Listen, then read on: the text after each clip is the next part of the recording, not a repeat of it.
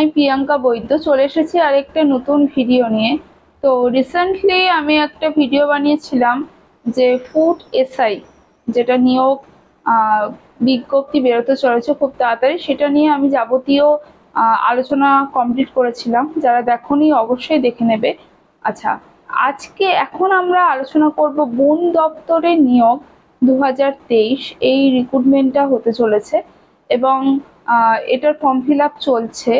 কবে last date রয়েছে এবং যাবতীয় ইনফরমেশন নিয়ে আলোচনা করব। যারা নতুন আছে অবশ্যই চ্যানেলটা সাবস্ক্রাইব করবে আর পাশে থাকা বেল আইকনটা অবশ্যই প্রেস করবে নতুন নতুন ভিডিও পাওয়ার জন্য। তো এখানে আমরা সিলেবাস থেকে শুরু করে যে কোয়ালিফিকেশান রয়েছে সেগুলো কতগুলো পোস্ট রয়েছে এবং সেখানে সব কিছু অ্যাপ্লিকেশন ফিস থেকে শুরু করে সব কিছু নিয়ে ডিটেলস আলোচনা করব। তাহলে অবশ্যই ভিডিওটা পুরোটা দেখতে থাকো। দেখো, প্রথমেই বলি, যোগ্যতা রয়েছে মাধ্যমিক পাস তোমরা যে কোনো মাধ্যমিক পাশের ক্যান্ডিডেটসরা এটা ফর্ম ফিল করতে পারবে।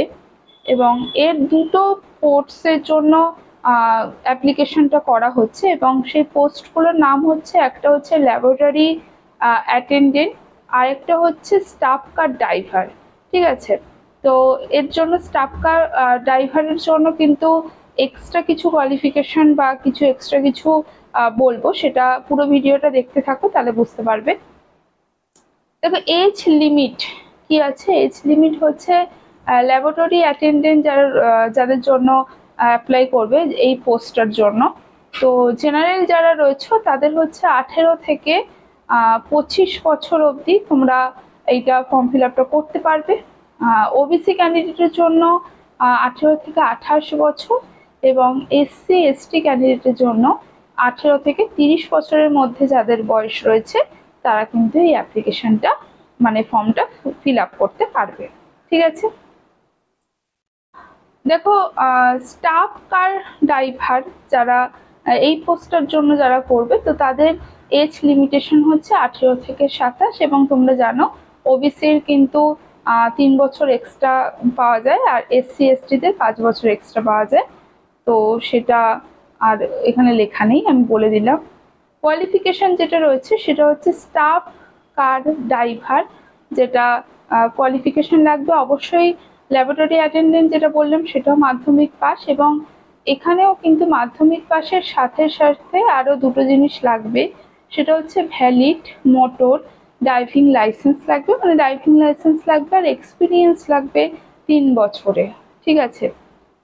এবার অ্যাপ্লিকেশন ফি যেটা রয়েছে, সেটা জেনারেল ওবিসিদের ক্ষেত্রে হচ্ছে সাতশো পঞ্চাশ টাকা।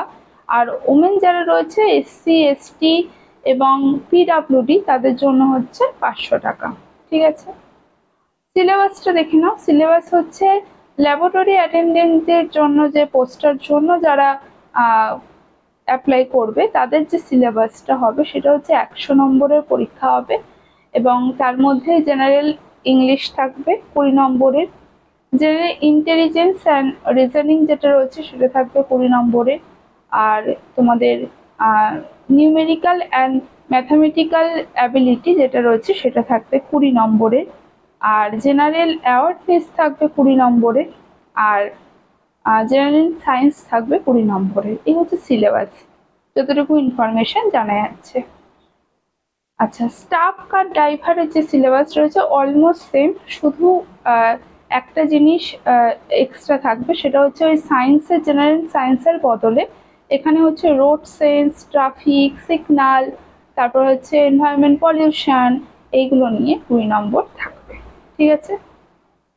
তো, আর এইটার হচ্ছে লাস্ট আবেদন তারিখ যেটা রয়েছে, সেটা হচ্ছে দশই জুন অবধি তোমরা লাস্ট এটা আবেদনের তারিখ, তার মধ্যে কিন্তু তোমাদের এই ফর্ম ফিল করে নিতে হবে, ঠিক আছে? তো ফার্দার কোনো ইনফরমেশন পেলে অবশ্যই আমি জানাব, আর তোমাদের কোনো জিজ্ঞাসা থাকলে আমাকে কমেন্ট করে জানাবে, আমি অবশ্যই কমেন্টে রিপ্লাই দিই এবং দেওয়ার চেষ্টা করব। তাহলে আজকের মতো, টাটা।